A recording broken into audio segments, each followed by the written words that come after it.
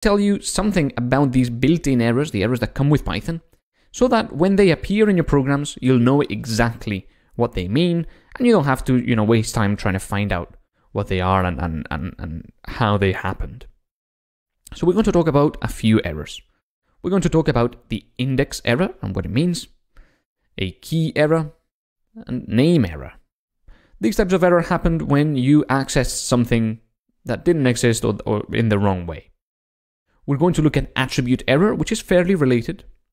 And then we look at not implemented error. This is an error that you can use. That can be really handy. We're going to look at runtime error, quite a generic error.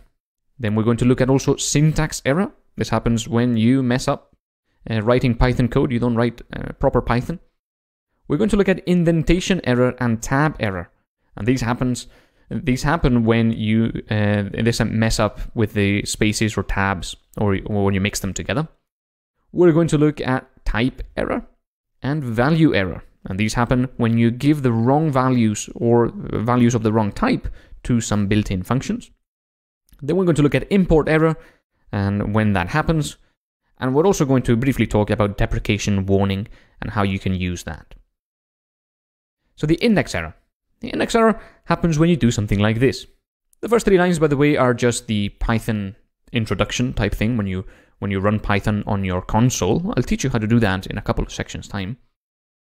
Basically, we've defined friends as Rolf and Anne, and then we've accessed friends 2. But of course, friends 2 doesn't exist because friends only has two things, 0 and 1. When you access friends 2, that's an index error because you accessed an index that didn't exist. In this case, it tells you that the list index was out of range. You're trying to access 2, but you only go up to 1. And this is a type of index error. Notice how the traceback tells you where the file, uh, the, the file, the line, and the module or function that you ran it in. And in this time, in this case, because I'm running Python uh, in interpreter mode, that means you're just running Python interactively. It executes as soon as you type, so the file is just the the the thing I'm typing. That's that's what this file is called. And line is number one because again every line is number one in interpreter mode, and the module is just the module I'm running with, and that just means when it says in module, that just means you are running the the line directly. You're not going through any functions. So this is an index error. Happens when you access an index that didn't exist or an index that is otherwise incorrect. Then we've got key error and this is fairly similar to the one we saw earlier. But now we have the proper code, movie name, movie director, and movie release. However, it should be year. And remember, in our milestone 1, we used the year key, and let's assume that we've used the year key for this bit of code as well. What we'll get then is this nice traceback. Again, what we've got now is a key error, and the description of this key error is pretty terrible. I don't like this description because it just says the key that you misused. So it says key error, release. Um, not terribly helpful, but now you know that you've used the release key at some point where you shouldn't have. And then, if the traceback is good, it'll give you which line that error happened. You've used it here in movie release. And then again, it, it says, and this line was inside show movie details. Show movie details was executed as show movie details with movie inside it, and that happened inside show movies. That was executed inside the menu, and the menu was executed inside the module or the file that you executed. Notice how all of these things are inside a file called app.py, because that's uh, what our file was called in milestone 1. So the key error happens when you use a key incorrectly, or otherwise the key doesn't exist, but movie is a dictionary. Okay, so we've got movie being a dictionary, and then we accessed uh, the incorrect key. If movie was a list, remember from the last video, we would get a different type of error. We also have name error. And the name error happens, as we saw earlier uh, in the last video, when the variable is not defined. So here I've just launched Python and I said print hello, the variable hello, but of course hello is not defined, so I get a name error that says name hello is not defined. Of course, print of the string hello would still work because the string hello is just a set of characters and numbers or symbols, and Python doesn't evaluate it to a variable at all. So that would work, but printing the variable hello doesn't work. This is actually a really common error for my students where they forget to, or you guys forget to, put the quotation marks around the string. Happens to everybody. And just remember, if you get a name error for something that is in a print, just check whether it needs quotation marks around it. That's, that's a fairly popular thing, so just keep your eyes out. Let's also look at attribute error. Attribute error is pretty popular when you're starting to deal with objects. In this code here, we've got my friends list, which has three strings, Rolf, Jose, and Charlie. And then we've got some friends that are nearby, Rolf and Anna. And notice these two are lists, and then I'm doing friends.intersection of friends nearby. Intersection is something we can do with sets. If you recall, we looked at this earlier on in the course. It is not something you can do with lists. So then you get an attribute error. The list object has no attribute intersection. It, you can't you can't do intersection because a list doesn't know what it is. Uh, so this is a nicer error message. It tells you what object you try to use, in this case a list object, and it tells you what you try to do that you cannot do. In this case, use the intersection attribute. Okay. This is a pretty nice error. When you get it, you see, okay, I messed up. I used the wrong thing there. We've got not implemented error, and this is an error that you won't be seeing very often, but it's an error you can actually use. And here's how you can use it. Here's We've got a class that has an init method, a constructor, and it takes in a username and a password, and then it sets them, and then it's got a login method. But we've not worked on the login method yet, so it doesn't work yet. Instead of returning none or doing nothing, we can instead raise a not implemented error. And this is the syntax for raising an error. We're going to look at this in more detail in the next couple of videos. And then inside the brackets, you can put a small description saying something like this feature has not been implemented yet. What's going to happen is when somebody calls this method, they're going to get an error. And it's going to say, not implemented error, this feature has not been implemented yet. And then it's going to say, when you called user.login. So it's a pretty nice error to raise when you've not yet gotten round to implement something. A runtime error. Runtime error is a pretty generic error, and um, it's, it's not terribly clear when it happens. Uh, I've seen it a couple of times, um, but it's not an error you'll be seeing very often at all. This is essentially a base error, a base class, and other errors inherit from this one. Other errors extend this one to be runtime errors. A runtime error is just an error that happens when you're running your program, so that's basically anything. We've got syntax error. Syntax error is when we mess up on Python. So here we've got somebody messing up in defining their class user. Can you see, can you spot the, the missing thing? For me, this is like a big blank where something should be. But of course, for you, it may not be so obvious to, for now. And as you get more familiar with Python, as you program more and you encounter more of these errors, this is going to start becoming a bigger and bigger and bigger missing thing, uh, which is the colon. The colon is missing at the end of the class. This is illegal syntax because you've got class user and then it expects a colon afterwards, so you'll get a syntax error, the saying illegal syntax. Then we've got indentation error, fairly related, also a problem with syntax in Python. And the error could arise from something like this. Uh, you define the function at 2, x and y, you put a colon after, and remember, the block of the function has to be indented. It has to have at least two spaces in front, preferably four spaces. But this return x plus y doesn't have any spaces in front. So you'd get an indentation error, and it would say something like uh, block indentation block expected after function definition or something like that.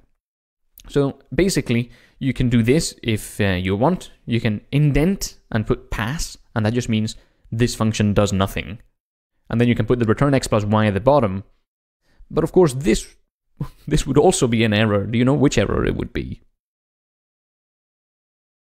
I hope you got that. It would be a name error, because of course x and y would not be defined. They are only defined within the function. Remember the concept of scope. They do not live outside the function. So as soon as the function ends, x and y no longer exist. You're using them here outside the function, because the function body is only the indented block. So this will give you a name error. You're trying to use x and y, two things that are not defined. Then we've got a tab error. A tab error is a pretty frequent error when you switch between editors. So just be careful when you're switching between editors that this doesn't happen. Here we've got a add to function. And then the indented body has been indented with four spaces. That's what that little square bracket means. And that square bracket on the on the on the bottom of the line. Space, space, space, space, return x plus y. So there's four spaces there, totally legitimate Python um, syntax there. You can indent using four spaces, but then notice how the POW function has been defined using a tab character at the start instead of four spaces. And Python doesn't really like it when you mix and match indentation types. So um, I'm actually not sure if this would work, uh, but certainly within a function, do not mix and match uh, types. Uh, try to not mix and match uh, indentation types at all in any of your programs. Decide now whether you want to use tabs or spaces and stick to that, at least within a project. So again, these are spaces, these are tabs. Don't mix them. Uh, oh, and by the way, uh, let's go back to this, and I will quickly just mention the um, POW function, what it does, because I don't think we've encountered this syntax before.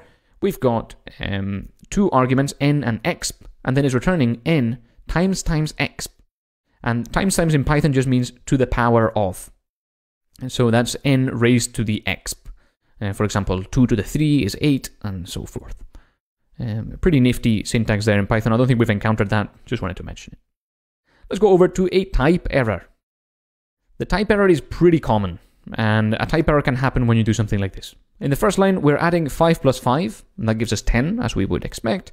In the second line, we're adding hi plus ha, and it's giving us hi ha, as you would expect, because it's concatenating the strings together.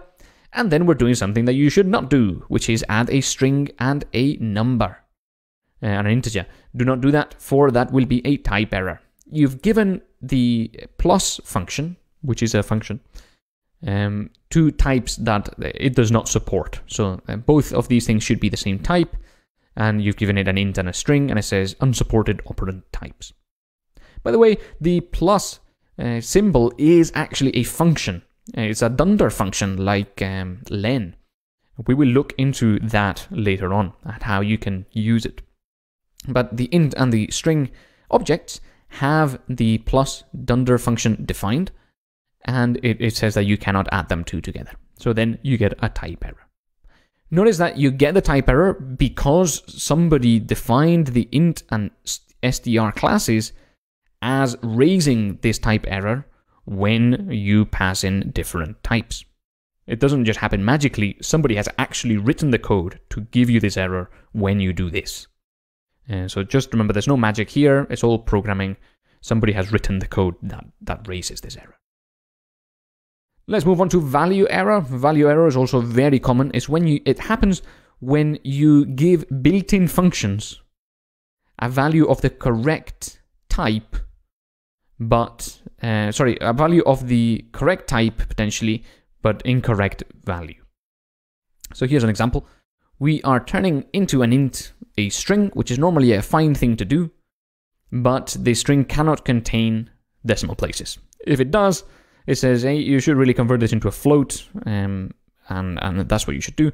So here we're calling the int function with 20.5 as a string, and it says value error, invalid literal for int with base 10, 20.5. 20.5 is not something you can give the int function.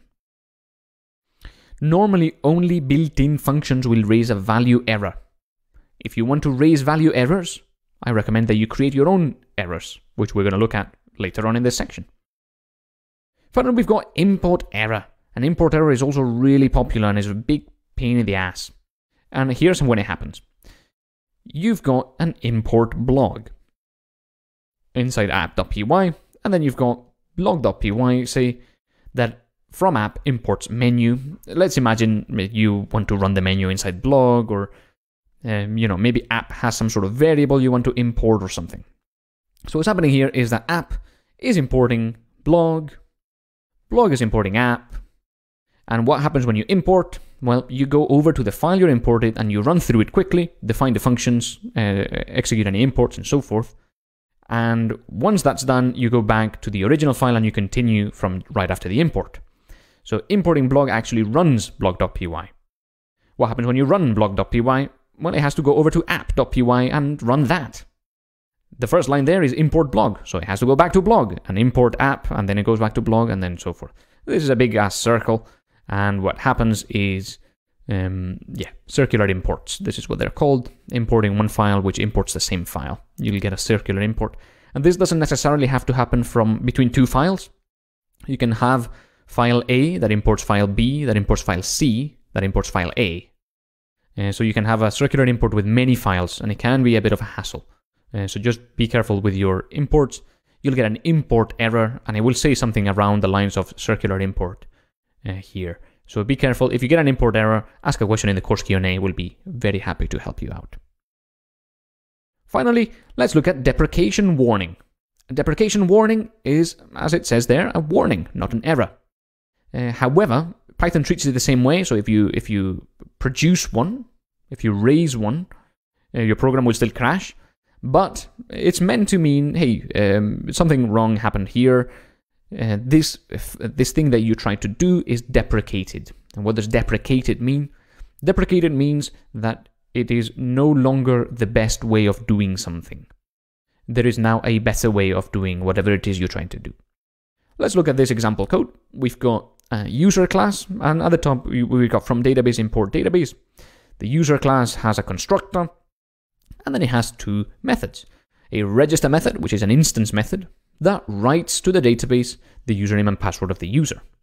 Then it also raises a deprecation warning, and it says, user register still works, but is deprecated.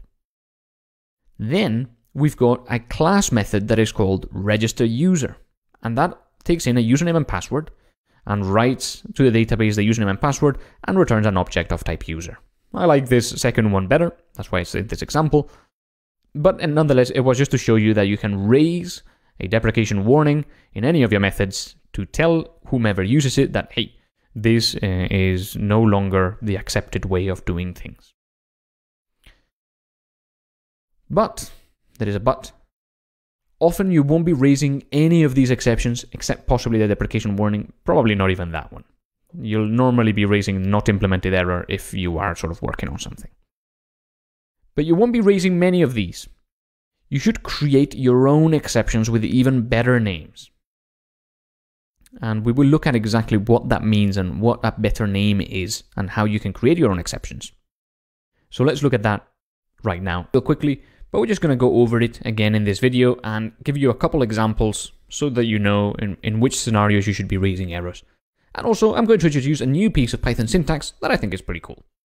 So let's right click our project that I've just created in PyCharm and create a new Python file. And again, I'm going to call it app.py. This is a pretty popular name for your first or your most important file in Python that you're going to run. So you can right click it and run it. Normally, this file will be called app.py or run.py. It's, it, it's just a name for your main most important file. Let's say we have a code that is for a garage and it stores cars and you can add cars to it. So let's define a class garage that has an init method and uh, it defines self.cars to be equal to an empty list. By the way, notice how in an attempt to reduce any indentation or tab errors, I have told PyCharm to show me any uh, hidden characters or invisible characters you've got these small, tiny dots that you can barely see uh, without um, being in a video. You can certainly not see them very well on video, but you've also got these lines here. So you've got these dots that are very small. I'm going to zoom in in the video just so you can see it. And you've got this line here. The line tells you where an indentation level begins, uh, or where it is maintained. The dots show you the spaces. So you know these are not tabs, they're spaces. Okay, so if we were to add another line here, notice how now we've got a three line, a three uh, line long uh, gray line here that tells us that the indentation is maintained for all of this. Okay, so this garage has an init method. It has a len method, uh, and that returns len of self.cars. And also it's got an add car method that takes in a car that we're going to add as an argument. However, we've not yet had the chance of uh, working on this too much, so what we're going to do is we're going to print this method is a work in progress. This is obviously not the right way to go about it, as you know now. But then let's say that um, we are using this garage, so we're going to say Ford garage is garage, and then Ford.add car, um, Fiesta, and then we want to print the len of Ford. Now, this method here is going to print out something out of the screen. But if we were not really paying attention, if we were, for example, saving this thing here to a file or to a database, we may not realize that this is printing something out. We would just see uh, that this is zero every time. Let's run our app. And as you can see here, it says this method is a work in progress, first of all, and then it just says zero. No matter how many cars we add, all we're going to see is this method is a work in progress over and over again. And if we were saving this length to a database or to a file or somewhere, it would always be zero. If you run it, then you may wonder, hey, what's going on here? And then you're going to have to actually run the program manually, like so in, in PyCharm, to see the printouts and then you'd see, ah, okay, this method, uh, this, this code isn't working yet. So instead, of course, we can raise an error. We can raise, and all you do is raise, and then type out not implemented error. And then you got brackets, so you're creating a new not implemented error instance. This is a class. You're creating a new object of type not implemented error, and you're raising that. Inside the brackets, you can put a small message we uh, we're gonna say we can't add cars to the garage yet. Now when you run the app, which I'm gonna do by pressing on the top right here, you get your nice trace back. Then it says, not implemented error. We can't add cars to the garage yet. Then it tells you where that error happened. Raise not implemented error. Here, we did it manually. It says line 9 in add car. So that's line 9 of our code inside the add car function. Now, where was this function called? Where where did the, the this function originally happen? On line 13 here, and for car fiesta. So as you can see, the error happened here. Inside this function, this function was called here. So it tells you all the functions and, and parts of your file where this error has has gone through, from being raised up until it reached the file level. So that's two, two places right now. So this is much better, because now when we run the program, it's going to crash. We're not going to save anything to the database, and we're going to see, oh, okay, uh, it crashed, let's investigate. We would see that a not implemented error was raised, uh, and that's all good. So this is how you raise an error. You use the keyword, then you create a new object. You can put something inside the brackets, which will be the message. Let's say we add another class that is going to be a class of type car. And that's going to take a make and a model as um, as uh, parameters. And then it's also going to have a repr function, of course, because you always want these things. And it's going to return a car with self.make and uh, self.model, like so. So this is just a representation of a car. Remember the repr dunder function. Um, you can print out the car object and it's going to print something that looks like this. Okay. Now, the add car function here should only accept the parameter being a car object. So how do you do that?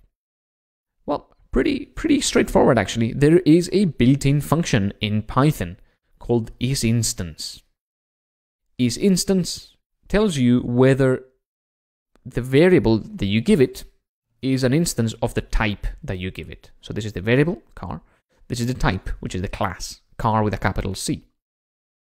So if not is instance, so if this is not, if car is not an instance of car, we're gonna raise a type error.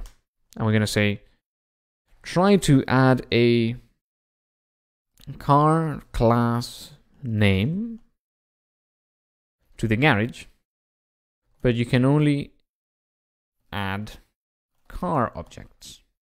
So there's a bit of a longer message there. Um, and all I've done is formatted a string and said car.class.name. That's the name of the class of the variable. So if this was a string, this would print out str. If this was a class, if this was if this was a car, it would print out car. And this is just a nice bit of a construct that you can access for essentially any variable. Uh, this gives you the class of the variable, and this gives you the name of the class. So we try to add that to the garage, but you can only add car objects. Uh, and then, of course, we're not going to raise a not implemented error. And now here we can say self.cars.append car. And you may wonder, well, why do you not put this in an else? You don't have to. If the car is not an instance of the car class, we're going to raise the error and that's going to crash our program. We are never going to reach this line if that happens. If, however, it is an instance, it's not going to go in here, and it's just going to go here. So you don't need the else for anything, because the only path, there are only two paths. One where this doesn't run, because you raise the error, and the other one where this runs, and that's where you want it to run. So that's sufficient. So once again, let's try to uh, add this string car. And notice how now we get a nice traceback here that says try to add an str to the garage, but you can only add car objects. That's a, I think that's a pretty nice error message. So what can you do? Well, you can create a new car object. Let's say car, this is going to be a Ford Fiesta, and then you're going to add that car, which is a car object, into the add car function. Again, the value of the car variable is a car object. And that's what you are teleporting over to this car variable. Okay, so the car variable, the value of the car variable is now being assigned to this car variable here, and then you're going to use that inside here. So now we can run it, and it all works. We can print the len of Ford, and you'll see that one gets printed out, which is pretty nice. This is raising errors in Python. It's really straightforward. All you have to do is when you want an error to happen, raise it, create an object of it. You remember the brackets, and inside the brackets, if you want, it's totally optional, you can put a nice message for when the error gets raised, the, the person who's writing the code knows what happened. Errors are most useful for developers. Of course, if your users, if, if somebody was downloading this code over the internet saying, oh, I'm to run my garage, of course, there's a bit basic for that. But if somebody was downloading your code and using it, they encountering a type error may not be terribly useful for them because it doesn't tell them anything. They're not developers. So errors are most useful for developers. When you are writing code or when somebody else is helping you write code or working on a team, having nice errors can be really helpful because then when you make a mistake or you do something incorrectly, you'll quickly get an error and you'll be able to fix it. If you don't get errors and instead you print things out like we did earlier on, you may never find out that this is not working until you see that the program doesn't do what you were expecting. So raise errors, use them, and they'll be your best friend in no time.